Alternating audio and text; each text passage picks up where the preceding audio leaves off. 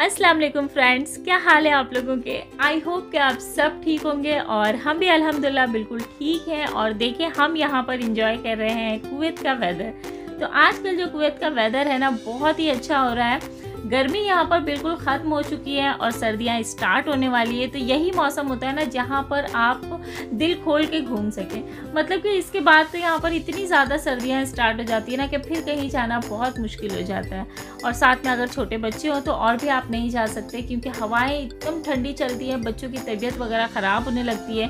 लेकिन इस वक्त यहाँ का जो क्लाइमेट है ना, बहुत अच्छा है, बहुत प्यारा है। आप जहाँ चाहें ना, वहाँ जा सकते हैं, घूम फिर सकते हैं और बहुत इंजॉय कर सकते हैं। अच्छा तो ये था हमारा छुट्टी वाला दिन और जैसा कि लास्ट नाइट हम गए थे रेहान की स्कूल में पीटीएम मीटिंग के लिए तो वहाँ पर बच्चे मिले थे और फिर उनका प्लान हो गया था कि कल उन्होंने जाना है साइकिलिंग के लिए। तो वैसे तो हमारे घर के पास जो बीच है ना, हम वहाँ पर जाने वाले थे, लेकिन वहाँ पर ना बहुत ज़्यादा रश होती है तो इस वजह से हम ना दूसरी बीच पर आ गए। ये है कुवैत मैजिक का बीच यहाँ पर गार्डन है बीच है शॉपिंग मॉल्स है, बहुत सारी चीज़ें हैं, यहाँ पर बहुत सारी राइड्स हैं, बच्चों के लिए अलग है, बड़ों के लिए अलग है फ़ूड कोर्ट है मतलब ये कि अगर आप सुबह से यहाँ पर आते हैं ना तो पूरा दिन आपका इजीली स्पेंड हो सकता है। लेकिन हम यहाँ पर आके ना ना तो हम राइड्स पर गए हैं और ना हम बीच की तरफ़ गए हैं। ये एक ग्रीन पोर्शन था तो बस हम यहाँ पर आए हैं इसलिए क्योंकि बच्चों ने साइकिलिंग करनी थी। इसके पहले भी ये लोग एक दो बार जा चुके हैं साइकिल चलाने लेकिन ओ, मतलब इतना खुल के नहीं चला पाए तो ये ना आ, मतलब बहुत अच्छी जगह थी कि जहाँ पर वो आराम से साइकिलिंग कर सकें।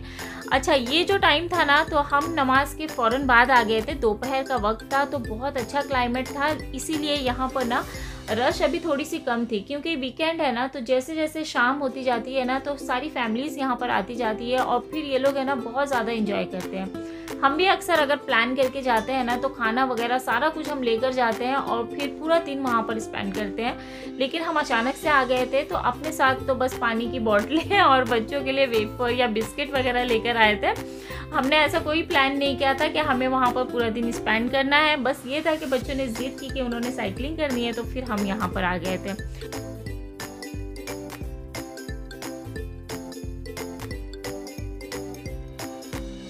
ये तो हम गार्डन वाले एरिया में थे, लेकिन अंदर जो है ना, बहुत सारी राइड्स हैं जो कि बच्चों के लिए हैं। इंडोर गेम्स है वहाँ पर बहुत सारे तो बच्चे वहाँ पर इंजॉय कर सकते हैं। और बाहर जो राइड्स है ना, वो बहुत बड़ी है और वो बड़ों के लिए अंदर वहाँ पर फ़ूड कोर्ट है, वहाँ पर बहुत सारी शॉप्स है जहाँ से इजीली शॉपिंग कर सकते हैं। और यहाँ पर ना शूज़ और पर्स की भी बहुत अच्छी अच्छी शॉप है तो अक्सर मैं यहाँ से शूज़ या फिर पर्स वगैरह ले लेती हूँ।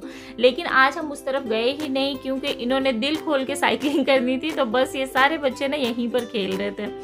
अच्छा आज भी ना मरियम का मूड बिल्कुल अच्छा नहीं था क्योंकि वो रात भर सोई नहीं थी, उसको बहुत ज़्यादा कफ हो रहा था तो वो बहुत ज़्यादा परेशान कर रही थी। तो हम तो बस उसी में लगे हुए थे। आखिर तक उसने साइकिलिंग वगैरह नहीं की, बस वो रोने में लगी हुई थी, लेकिन बाकी बच्चों ने बहुत इंजॉय किया। और जब ये लोग एक साथ मिल जाते हैं ना तो फिर इन्हें खाने पीने का कोई होश नहीं रहता, उन्होंने बस खेलना रहता है और इन्जॉय करना रहता है। तो माशाल्लाह से बच्चों ने काफ़ी इंजॉय किया।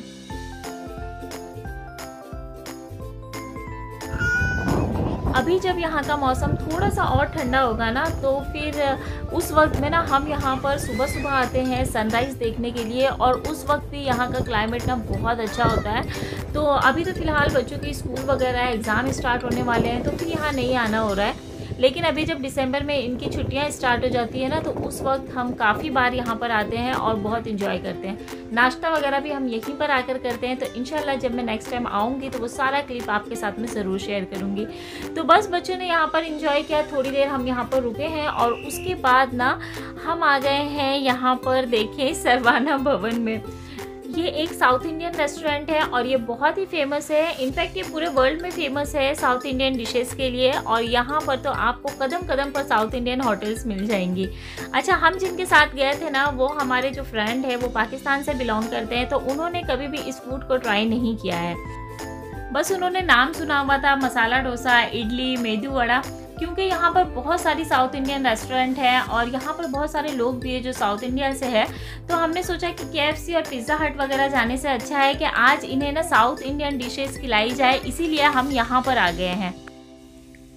इस रेस्टोरेंट से बाहर का व्यू बहुत अच्छा था। ये बिल्कुल है ना सी साइड के पास है ना तो पूरा सी साइड यहाँ से नज़र आता है। अलकूत मॉल और ये सारा नज़र आता है यहाँ से और रात के वक्त में तो ये और भी ज़्यादा खूबसूरत नज़र आता है। हम तो गए थे तो इस वक्त ना शाम हो चुकी थी। तो खैर, यहाँ पर हमने मसाला डोसा, मेदू वड़ा वगैरह ऑर्डर किया, इडली भी ऑर्डर की, लेकिन बच्चे ना, बच्चे बिल्कुल भी खुश नहीं थे, बस वो हमारे साथ आ गए थे, लेकिन उन्हें इस खाने में कोई इंटरेस्ट नहीं था। तो जैसे तैसे करके थोड़ा बहुत इन्होंने चखा है बस, और बाकी तो इन्होंने खाया नहीं। लेकिन हम बड़ों ने काफ़ी ज़्यादा इंजॉय किया, और उन्हें भी ये सब ना बहुत ज़्यादा पसंद आया। और उसके बाद फिर हम आ गए थे अपने अपने घर।